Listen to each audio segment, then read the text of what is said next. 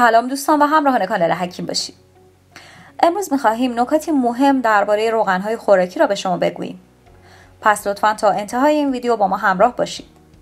اما قبل از آن سپاسگزاریم از شما که با لایک و کامنت هایتان از ما حمایت می‌کنید. سوال بسیاری از آدمهایی که به سلامت و تغذیه خود اهمیت می‌دهند این است. چه روغنی برای مصرف و پخت و پس سالمتر است؟ امروزه روغن خوراکی به یکی از مواد اصلی و مهم تهیه انواع غذاهای ما تبدیل شده است و کمتر کسی یافت می شود که این خوراکی چرب را کنار گذاشته باشد. در واقع چربی ها و روغن ها مواد مغذی ضروری رژیم غذایی روزانه هستند و وجودشان برای درست کار کردن عملکردهای مختلف بدنمان ضروری است. پارامترهای مختلفی برای ارزیابی کیفیت این روغنها به کار برده می شود. در این قسمت در مورد انواع روغنها و بهترین روغنها از نظر سلامتی صحبت خواهیم کرد. روغنهای خوراکی را معمولا از گیاهان و حیوانات به دست می آورند و برای سرخ کردن، پختن و انواع دیگر آشپزی به کار برده می شوند.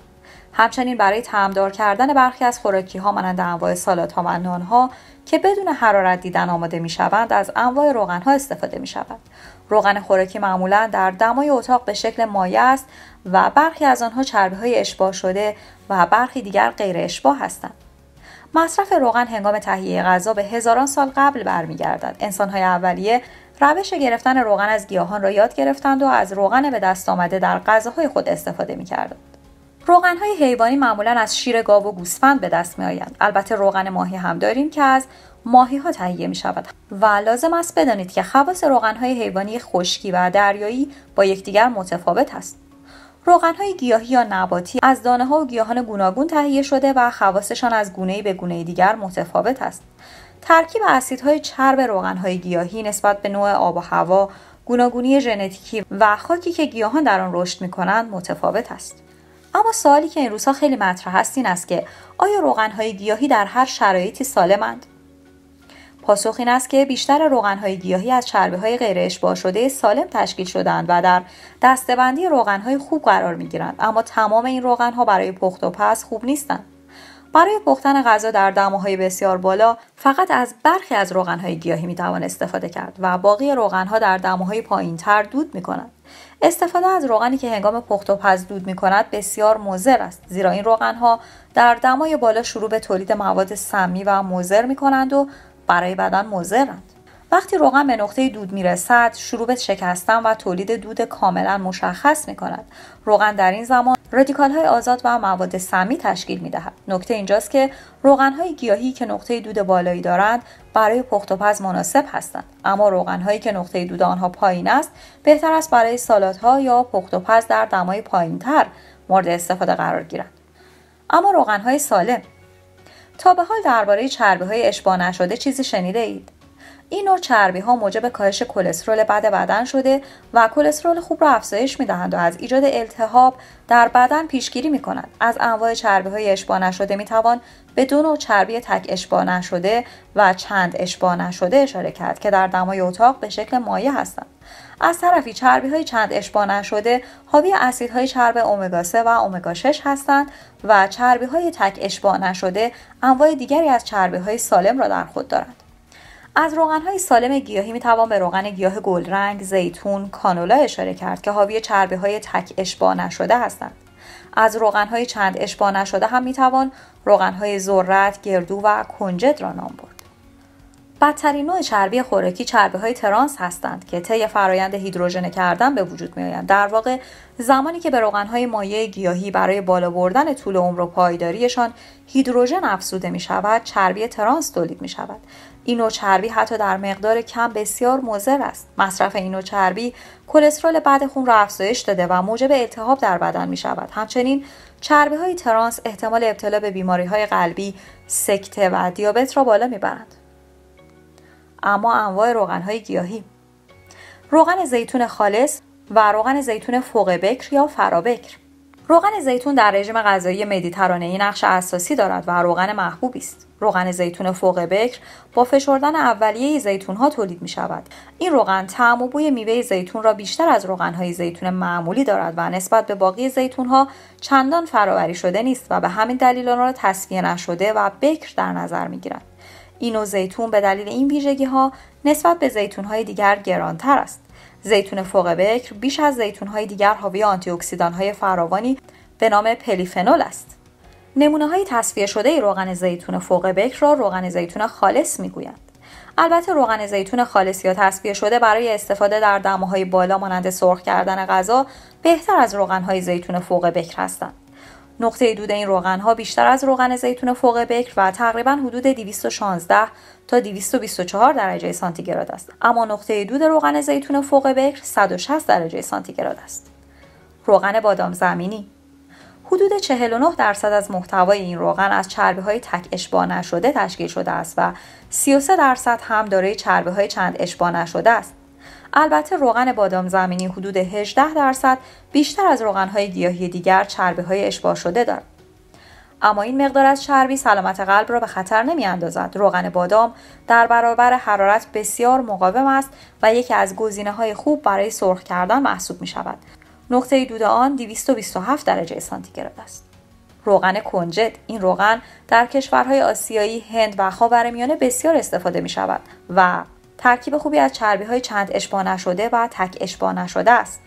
46 درصد چربی های چند اشباع نشده، 40 درصد چربی های تک اشباع نشده و 14 درصد هم چربی های اشباع شده دارد. این روغن به دلیل بوی نسبتا تند آن معمولا برای سرخ کردن استفاده نمی شود. روغن کنجد تفت داده شده رنگ تیره تر و طعم تندتری دارد. پس از باز کردن درب بطری روغن کنجد آن را باید در یخچال نگهداری کنید. نقطه دود آن 210 درجه سانتیگراد است. روغن هسته انگور. این روغن از دانه های انگور گرفته می شود و به دلیل طعم ملایمی که دارد محبوب بسیاری از آشپزخانه هاست. این روغن چند منظوره است و نه تنها برای سرخ کردن به کار برده می شود بلکه به عنوان چاشنی به سالات ها هم افزوده می شود روغن دانه انگور حاوی درصد بالایی از روغن های چند اشباع نشده است. حدود 71 درصد. و 17 درصد چربی تک اشباع نشده دارد و البته 12 درصد هم چربی اشباع شده. هنوز در مورد اثرات روغن دانه انگور روی وضعیت جسمانی انسان به طور مفصل بررسی نشده اما برخی از تحقیقات نشان داده است که روی قلب اثرات مفیدی به جای می‌گذارد. نقطه دود آن 216 درجه سانتیگراد است. روغن نارگیل این روغن از میوه درخت نارگیل به دست می آید و نسبت به کره حیوانی و همچنین گیاهی انتخاب بهتری است در دمای اتاق جامد است و بیشتر از اینکه شبیه روغن مایع باشد شبیه کره است از آنجایی که این روغن نسبت به روغنهای دیگر سالم تر است طرفدار بیشتری دارد و گیاهخوارانی که چربی حیوانی نمی‌خورند از روغن نارگیل استفاده می کنند. نقطه دود آن 177 درجه سانتیگراد است و برای سرخ کردن غذا هم مناسب نیست. روغن کانولا روغن کانولا حاوی مقادیر زیادی چربی تک اشباع نشده یعنی 62 درصد و در عین حال منبع خوبی از چربی چند اشباع نشده 32 درصد است و مانند اسیدهای چرب اومگا 3 است این روغن میان روغنهای خوراکی دیگر کمترین مقدار چربه های اشباع شده یعنی 7 درصد را دارد روغن کانولا از مقدار کلسترول خون افرادی که از آن مصرف می کنند کاسته و در نتیجه از ابتلای آنها به بیماری های قلبی پیشگیری می کند. از این روغن می توان به روش های مختلف از پخت و پز و گریل گرفته تا سرخ کردن مواد خوراکی استفاده کرد. همچنین از روغن کانولا هنگام درست کردن سالات هم می توان استفاده کرد. نقطه دود آن 200 درجه سانتیگراد است. روغن آفتابگردان. رنگ این روغن روشن و طعم آن خنثاست روغن گل آفتابگردان حاوی 69 درصد چربی چند اشباع نشده است و 20 درصد چربی تک اشباع نشده دارد. روغن آفتابگردان فقط 11 درصد چربی های اشباع شده دارد. این روغن به طور کلی برای سلامت قلب خوب است و به دلیل اینکه در برابر حرارت مقاومت بالایی دارد برای انواع پخت و ها مناسب است. نقطه دود آن 227 درجه سانتیگراد است. روغن سویا. روغن سویا از لوبیای سویا گرفته می شود. روغن سویا حاوی چربه های اومگا 3 بوده و برای قلب مفید است. این چربه های اومگا 3 بیشتر در ماهی های سالمون و ساردین یافت می شود و کمتر در منابع گیاهی دیده شده است. نقطه دود روغن سویا 232 درجه سانتیگراد است. های گیاهی بسیار دیگری مانند روغن دانه کتان با نقطه دود 107 درجه سانتیگراد، روغن سبوس برنج با نقطه دود حدود 254 درجه سانتیگراد، روغن پنبه دانه با نقطه دود 216 درجه سانتیگراد و روغن پال با نقطه دود 232 درجه سانتیگراد در دسته های گیاهی نام برده می. اما روغن گلرنگ روغن گل رنگ یا گل خشت با کمپرس سرد میوه گیاه گل رنگ به دست می آید و به دلیل اینکه حاوی چربی های اشباع نشده فراوانی است از کلسترول بد خون میکاهد. دو نوع روغن گل رنگ وجود دارد. روغن حاوی اسید لینولیک بالا و روغن حاوی اسید اولیک بالا. روغن حاوی اسید لینولیک بالا سرشار از چربی های چند اشباع نشده و مناسب خوراکی هایی است که بدون حرارت دیدن آماده می شود در حالی که نوع دیگر این روغن بیشتر چربی های تک اشباع نشده دارد و می تواند در دماهای بالا مورد استفاده قرار گیرد. در ضمن طعم روغن گل رنگ خونساست. این روغن می تواند قند خون را بهبود بخشد و از التهاب موجود در بیماران مبتلا به دیابت نوع دو بکاهد. نقطه دود دو نوع روغن گل رنگ 107 و 160 درجه سانتیگراد است. اما در پایان روغنهای گیاهی مارگارین یا کره گیاهی را به شما معرفی خواهیم کرد. ترکیبی از روغن و آب است و بخش روغنی آن حدود 80 درصد است. از مخلوط روغنهای گیاهی مجاز به دست می آید و دارای اسیدهای چرب اشباع بالا و نیز بیشترین درصد اسیدهای چرب ترانس به میزان 15 درصد است. به همین خاطر برای سلامت بدن بسیار مضر است و مصرف آن به هیچ وجه توصیه نمی شود در ضمن برای سرخ کردن غذا نیز مناسب نیست و فقط می توان از آن در حد تفت دادن استفاده کرد. نقطه دود آن حدود 160 درجه سانتیگراد است. در ادامه این قسمت با روغنهای حیوانی و معرفی آنها با ما باشید. روغن ماهی روغن ماهی منبعی غنی از اسیدهای چرب امگا 3 حیوانی است. مصرف روزانه یک قاشق غذاخوری روغن ماهی نیاز روزانه بدن را به این نوع اسیدهای چرب مهم برطرف می کند. بهترین روغن ماهی روغنی است که از روغن کبد ماهی یا روغن COD به دست می آید.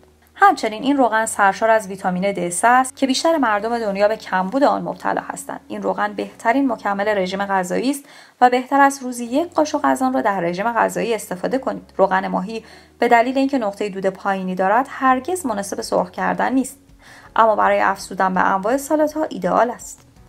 روغن دنبه گوسفند. روغن دنبه گوسفند در خاورمیانه و به ویژه ایران طرفدار دارد. البته این روزها از استفاده آن در آشپزی ها بسیار کم شده است. دنبه به دلیل چربی های اشباع شده فراوان برای بدن بسیار مضر است. این روغن کلسترول خون را بالا برده و موجب گرفتگی عروق و بیماری های قلبی و عروقی می شود دنبه یکی از بدترین روغن ها برای تهیه غذاست. با نقطه دود حدود 200 درجه سانتیگراد.